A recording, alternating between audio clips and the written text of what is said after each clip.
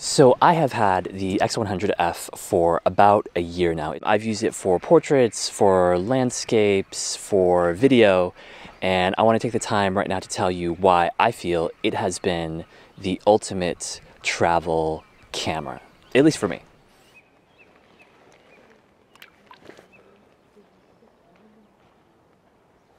So my first impressions of the X100F were that it was just way overpriced for what it was. I mean, 1200 US dollars for a fixed lens 35 millimeter camera, it just didn't really make a whole lot of sense to me. But then once I started to do a bit more research into cameras that were small enough or smaller than what I had before, which is a, a DSLR, I just thought it was stupid. Like, who would ever pay $1,200 for being stuck with 35 millimeters?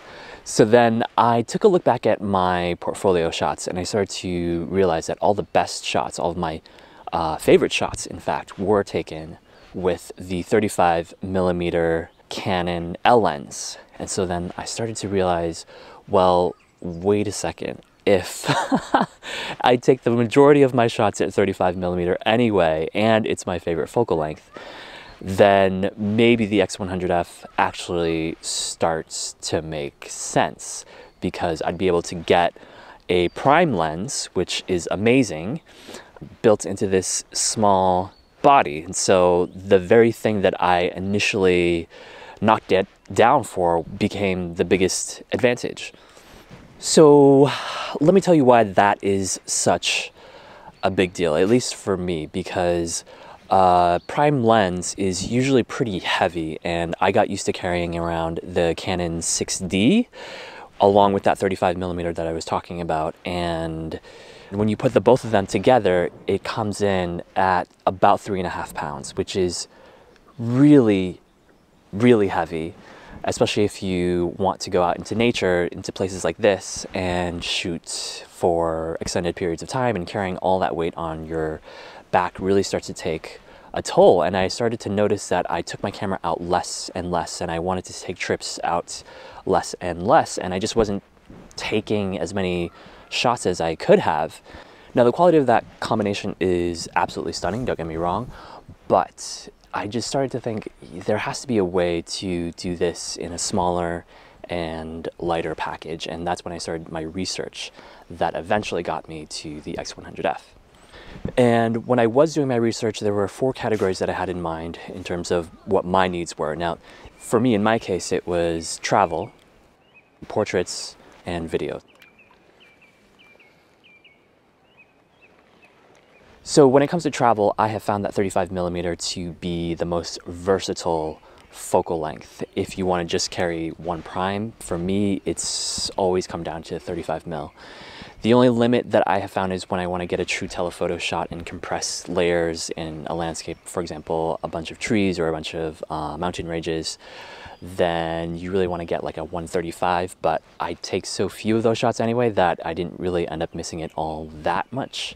And I think the second thing is that the X100F has a built-in ND filter. So that's huge for me because it's one less thing that I have to worry about carrying around.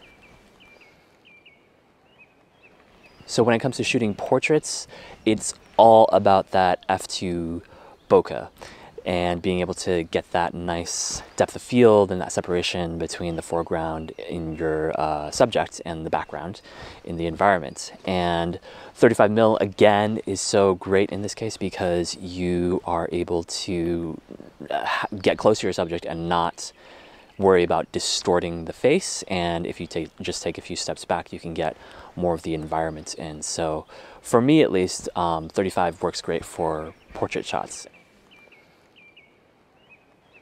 A lot of the tech reviewers that are out there will say, if you look out there and you don't have to look all that hard, but they will say that the X100F is just not the best choice for video. And I can totally see why now, especially after a year with it, uh, why they would say that. For example, there's no 4K at all. It's not even available as an option. And slow motion is limited to 60 frames per second. There's no headphone jack. The microphone jack is limited to this 2.5 millimeter thing, which is annoying. And there's a 15 minute limit on 1080p.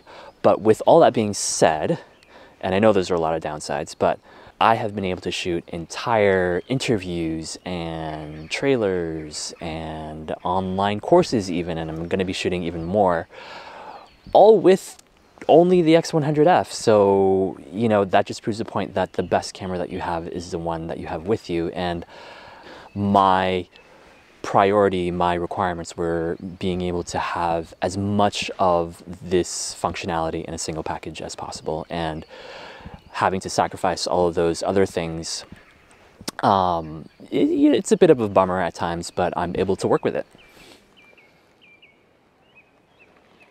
First of all, the build quality. This thing is just built to such a high quality standard. It feels so good to hold it in the hand. I mean, just little things like the buttons have this kind of nice rubbery tactile feedback to them. It's just little details that Fujifilm has really thought through that makes me feel inspired to come back to it and use it over and over and over again. And then the second thing is the design, and particularly the retro aesthetic that it has because I found that in the past when I have brought out my big DSLR, people just feel intimidated and it's like, whoa, whoa, what are you doing, paparazzi? And if you're bringing in a camera that's like big and intimidating, then it just increases more that tension between yourself as a photographer and your subject. And I found that the X100F is just like, it's so diminutive and, and just cute that people just have this kind of you know, like this reaction to it, and it's it's it's been great on that end at least. So the first is that if you're a minimalist kind of traveler, you just want one camera, you don't want to have to carry multiple bodies and multiple lenses, then this is a great option for you to consider. The second is you definitely have to be more of a photographer than a videographer. Like I said, I've been able to make the video work, but if you lean more towards photography, this is probably a better bet for you. The third is if you just love prime lenses, you love having that bokeh, and you love 35 millimeter, then and you want it all in a single small package, then uh, this is another great option for you to consider.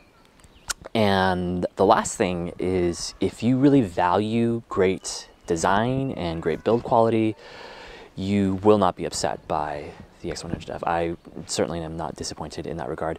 As a designer myself, I really value those types of things, and um, it's just been a joy to use. I would say that it is absolutely professional grade. This is something that I was sort of questioning in the very beginning. Um, and yeah, I can say emphatically that you know, you can achieve professional results on the X100F for sure. And it has done so well as my single camera over the last year or so.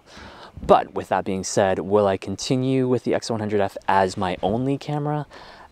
I have to be honest and say at this point, no, because like I said, the biggest thing that's lacking is, um, you know, the video capabilities and I'm looking at getting the XH1 and the XT100 to serve different needs. Um, I'll still be keeping my X100F for sure, just because it's so great as that small little companion that I can carry on with me everywhere. But um, yeah, stay tuned. I'll probably end up posting first impressions videos and um, short-term and long-term reviews eventually. So make sure you subscribe to my channel and check it out.